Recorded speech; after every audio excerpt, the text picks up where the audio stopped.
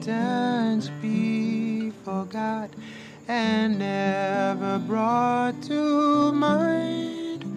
Should old acquaintance be forgot and auld lang syne?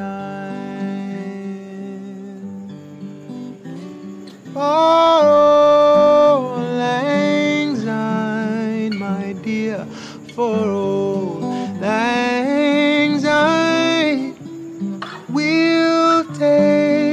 remarkable of kindness, yet for auld lang.